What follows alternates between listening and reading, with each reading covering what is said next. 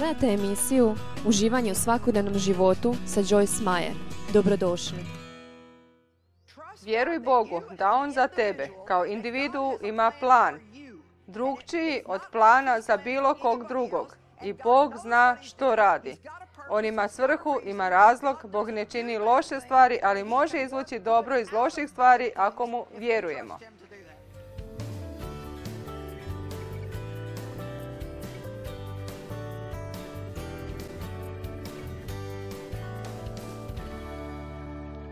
Želim vam večeras govoriti o tome što činiti kad si povrijeđen i što ne činiti kad si povrijeđen. Jer kad si stvarno povrijeđen, potrebno je puno discipline i samokontrole da činiš ono što znaš da trebaš, a ne da samo činiš i govoriš ono što osjećaš. Isprava se do duše čini da nijedno odgajanje, disciplina, nije radost nego žalost, ali onima koji su njime uvježbani poslije donosi mironosni plod pravednosti. A samo kontrola znači da kontroliramo sami sebe. To ne činimo bez Božje pomoći. On nam je dao već milost da to učinimo. Bog nam nikad ne govori da nešto činimo zašto nam nije dao milost. Tako da sve što vidiš u riječi da trebaš činiti, Milost je na raspolaganju. Sve što trebaš je prihvatiti je i reći, Bože, pomozi mi. Želim utvrditi nešto večeras i učinit ću to više puta. I ako ne zapamtiš ništa drugo od ovoga što sam rekla u petak navečer ovdje u Atlanti, želim da zapamtiš ovo. Ako uspiješ naučiti kako činiti pravu stvar, dok si povrijeđen i ako je budeš činio dovoljno dugo, nema tog đavla u paklu koji te može spriječiti da dođeš do palače. Ali mi moramo naučiti činiti ono što je ispravno dok smo povrijeđeni. Moramo naučiti kako činiti ono što je ispravno dok smo dok nam se to još uvijek čini krivo i moramo naučiti kako činiti ono što je ispravno kada nam se ispravne stvari ne događaju. Nauči činiti što je ispravno kad si povrijeđen. Zapravo, reći ću to ovako, kad smo povrijeđeni moramo činiti ono što bismo učinili da uopće nismo povrijeđeni. Trebamo se ponašati na način na koji bismo se ponašali da su sve stvari u našem životu onakve kakve želimo da jesu. Dajte. Ne djelujete previše uzbuđeni. A ne mogu si pomoći, ne mogu si pomoći. Možeš. Da, možeš. Prije mnogo godina naučila sam lekciju o tome što mogu i što ne mogu učiniti kad to stvarno želim. Sjajno je što možemo učiniti ako to stvarno želimo i prije mnogo godina kad su moja djeca još bila malena i ja sam još uvijek bila hodajući kaos, uzrujala bih se oko stvari koje ne bi imale veze s mojom djecom i onda bi me isfrustrirao svaki njihov pokret ili nered i izgubila bih kontrolu. Počistite ovaj nered i onda bi mi naravno bilo žao, pa bih rekla ne mogu si pomoći, izgubim kontrolu, imala sam toliko problema i ne mogu si pomoći. I jednog mi je dana Bog pokazao viziju. Išli smo u crkvu i stvarno sam voljela pastora i naravno uvijek želite imati uslugu kod pastora i on bi mi dopustio da propovjedam ponekad i zato sam htjela biti dobra s njim jer mi je mogao otvoriti neka vrata. I dobila sam viziju gdje sam ja u jednom od svojih napada, a pastor mi zvoni na vrata.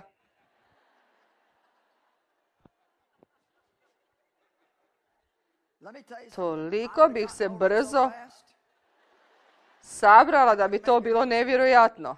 Znam što bih učinila. Otišla bih do vrata, otvorila ih sa smješkom i rekla, pastore, slava Bogu.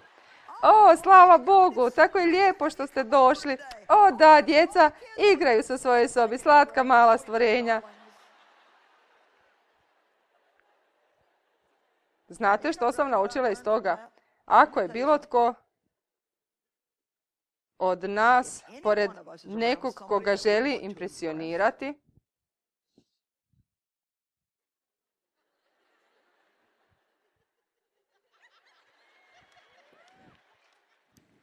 Biste li napravili predavnom iste stvari koje činite kod kuće iza zatvorenih vrata? Ne.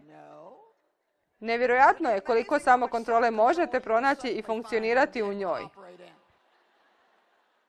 Mi moramo upravljati svojim ponašanjem i preuzeti odgovornost za njega i prestati se ponašati kao ne mogu si pomoći. Jednostavno izgubim kontrolu. Bog nam je dao plodove. U nama su po duhu svetome. Mi imamo plodove samokontrole i možemo funkcionirati u njima ako to stvarno želimo. Bol može upravljati našim ponašanjem ako nismo oprezni. Zato imamo ovdje 12 točaka koje ću vam predstaviti. Mislite da ih možete podnijeti? Prva točka, kad si povrijeđen, nemoj podivljati i izgubiti kontrolu.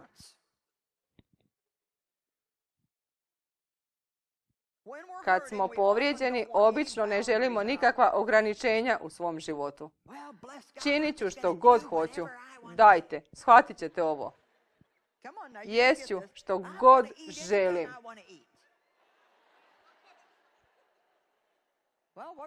Kako će ti dobro to donijeti? Samo ćeš se udebljati i onda biti ljud na sve sutra. To ne znači osvjetiti se đavlu. To ti neće pomoći da izađeš iz svoje jame. To samo produbljuje jamu. Kupit ću sve što želim. Idem u kupovinu i kupit ću sve što želim. Reći ću što god želim reći i ponašat ću se kako god se želim ponašati i briga me kome to smeta jer sam ljud.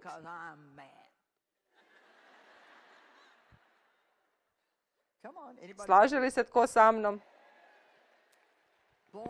Čovječe, ako možemo kontrolirati svoja usta kad smo povrijeđeni, hmm, osjeća li netko bol sada?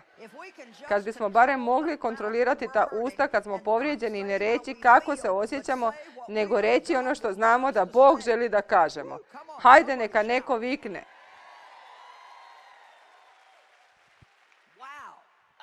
Oho. Kad osjećaš da gubiš kontrolu, zahvali Bogu za nešto.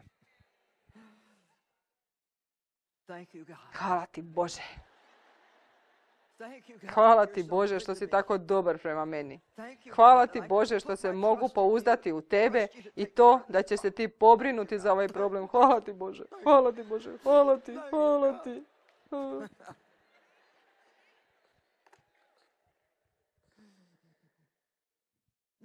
Broj dva. Nemoj se povlačiti, skrivati, izolirati, duriti se i ići na zabavu žaljenja i onda pasti u depresiju jer si u jami. Tako samo upadneš u novu jamu. Koliko sam samo godina sjedila i žalila samu sebe. O Bože, kakav gubitak vremena i energije. Bog mi je konačno rekao. Možeš biti očajna i možeš biti moćna, ali ne možeš biti oboje istovremeno. I podijelit ću ovo s vama. Ako ikad želiš doći do palače, moraš se prestati sažaljevati. I jedna od stvari koja nam pomaže je ta da shvatimo da mi nismo jedina osoba na svijetu koja je povrijeđena. I uvjeravam te da bez obzira na to kroz što prolaziš, postoji netko tko prolazi kroz nešto puno gore. To je apsolutna istina. Ako se sažaljevaš, ne dobivaš ništa dobro za sebe. Broj tri, nemoj vjerovati u laž da te Bog kažnjava zbog nekog prijašnjeg grijeha iz tvog života. Vel, vjerujem da je ovo kazna za pobačaj koji sam imala prije 20 godina. Mislim da je ovo kazna zato što sam bila prostitutka. Gluposti. Bog se ne bavi time. Kad nam Bog oprosti, što učini kad ga zato molimo, Biblija kaže da se On više ne sjeća naših grijeha. Kao što sam rekla sinoć, prestanići Bogu kukajući za stvari koje je on već zaboravio. Prestani pamtiti ono što je Bog zaboravio i nemoj dopustiti da ti đavo podvali tu laž. Bog je sad ljut na mene i kažnjava me i ja nikad neću moći prijeći preko stvari koje sam učinila u svom životu. Broj četiri. Nemoj kriviti Boga i ljutiti se na njega. I ovo će zvučati čudno, ali vjerojatno ima ljudi, iako ste došli ovamo koji ste malo ljuti na Boga. Samo malo. Vjerojatno si mislite, Bože, ne znam, mogu li ti vjerovati? Reći ću ti nešto. Ne možeš vjerovati da će ti Bog dati sve što želiš. ali možeš vjerovati da će ti Bog dati najbolje što ima za tebe. Naša razočaranja ne dolaze od Boga, dolaze od nas koji želimo da nam Bog da ono što želimo i onda kad ne dobijemo što želimo, naljutimo se na Boga jer nije djelovao u skladu s našim planom. Nemoj biti ljut na Boga. On je jedina osoba koja ti može pomoći. Nemoj kriviti Boga za svoje probleme. Broj pet. Kad si povrijeđen, nemoj odustati i misliti da nema izlaza. Nemoj nikad misliti da nema izlaza jer Isus kaže ja sam put, istina i život. Nitko ne dolazi k ocu osim po meni. Broj šest. Nemoj pasivno prihvaćati nepravdu, bori se protiv nje. I bori se s jednom stvari koju đavo mrzi. Slušajte ovo. Dok si u sredini i toliko si povrijeđen da ne možeš to podnijeti, umjesto da sjediš, sažaljevaš se, imaš loš stav, učini svo dobro koje možeš učiniti za što više ljudi moguće, što češće i moguće. Nema boljeg načina da poraziš đavla i učiniš ga očajnim.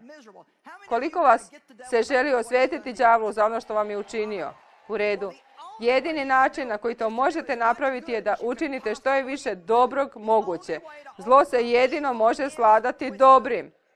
Svaki put kad pomognem ljudskom biću, zadajem đavlu modricu za ono što mi je učinio u djetinstvu.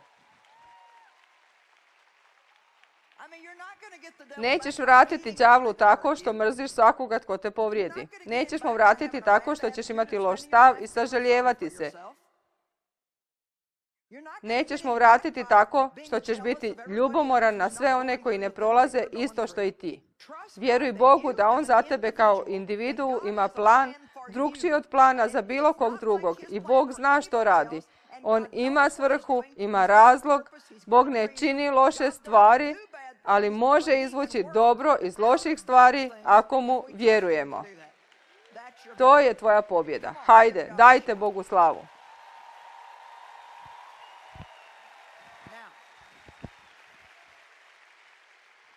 A sada nekoliko praktičnih stvari za koje mislim da su izuzetno važne jer se danas događaju neke stvari koje me uistinu živciraju.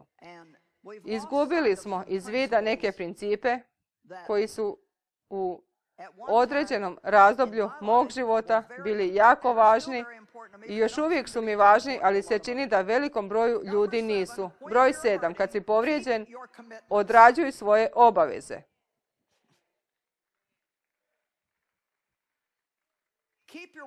Održi svoju riječ. Učini ono što si rekao ljudima da ćeš učiniti. Ako si rekao da ćeš raditi u nedjeljnoj školi u crkvi i imao si loš tjedan, ustaneš se i nemaš volje ići, tada zaista trebaš otići.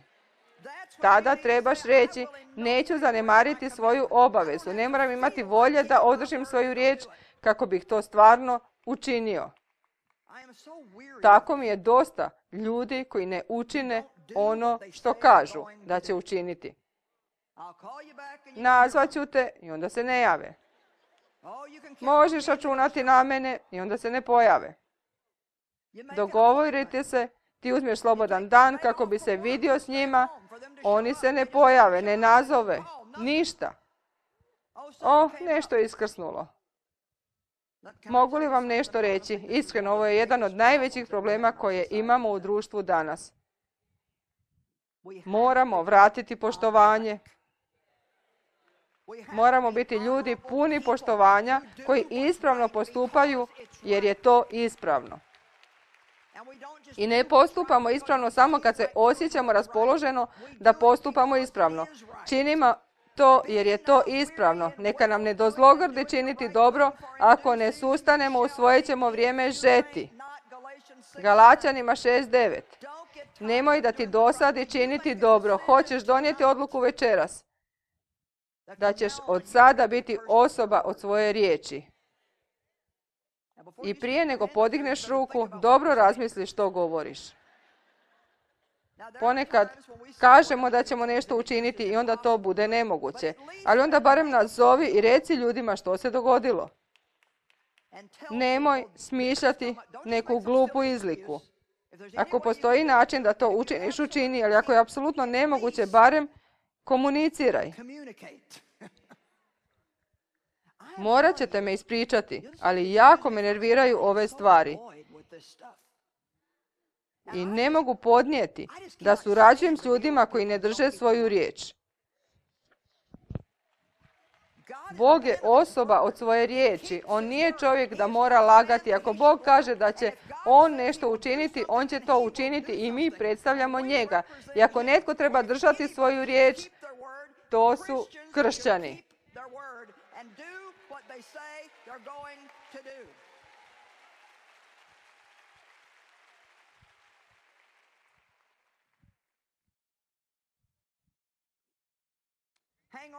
Držite do svog integriteta. U tim razdobljima izgrađujemo svoj karakter.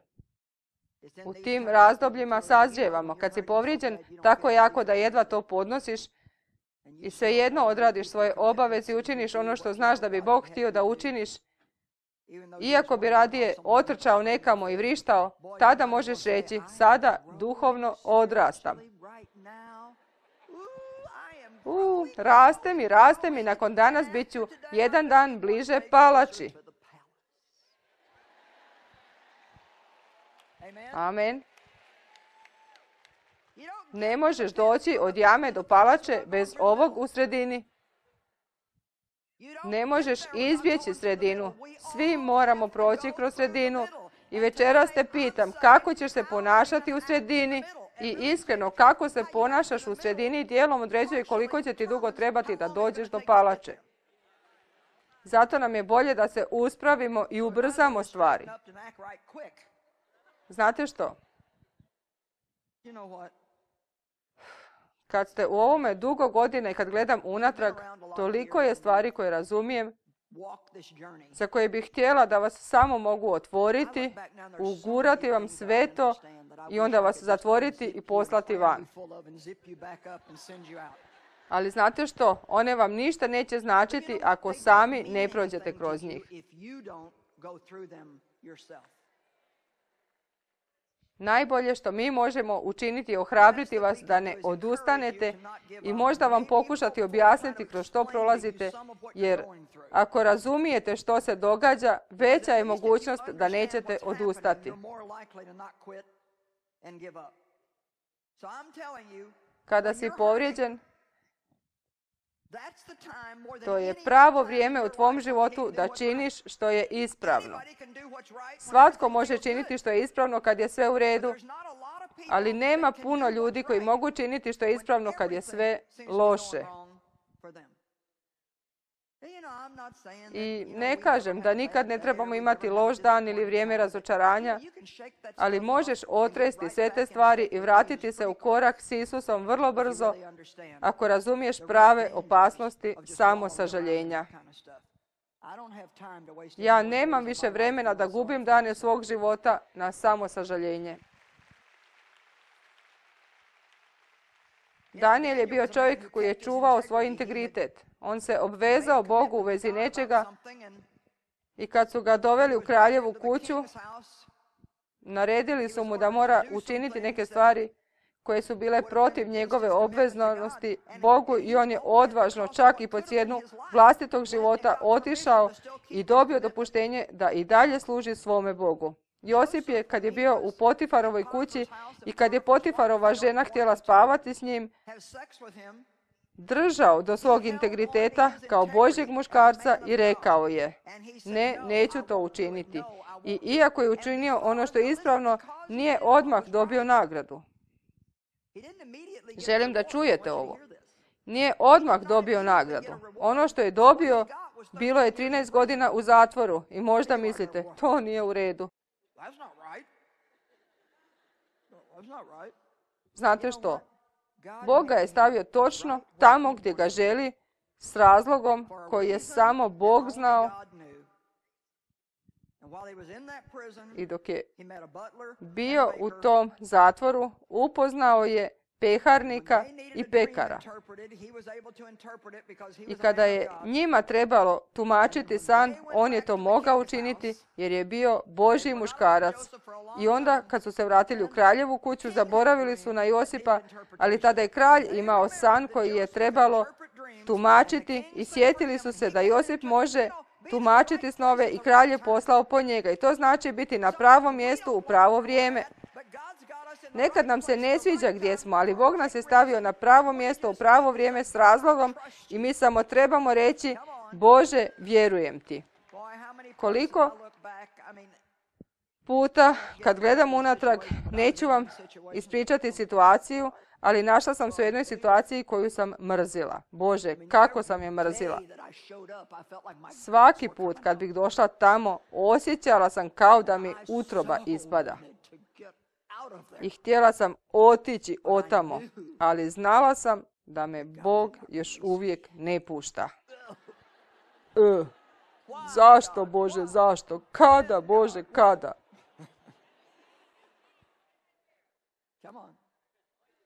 Ali kad je Bog bio spreman i kad je većina drugih stvari sjela na mjesto, onda me je pustio i stvari su se počele vrlo brzo rasplitati.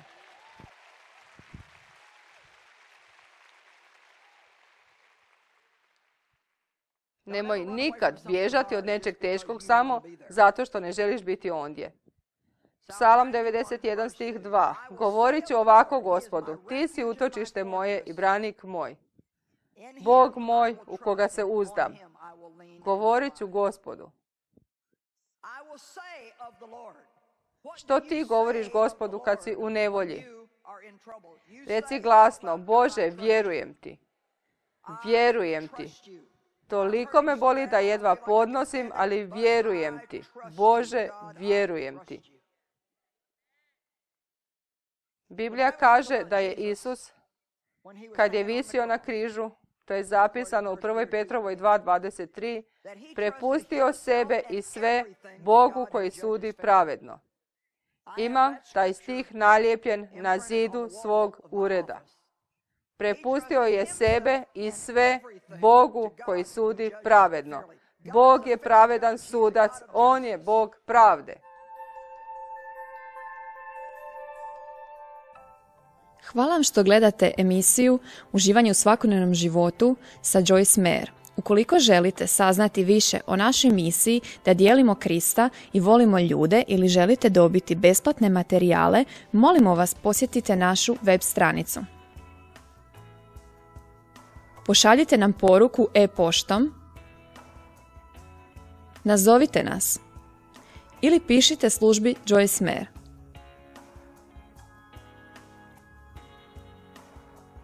Želim vam Boži blagoslov.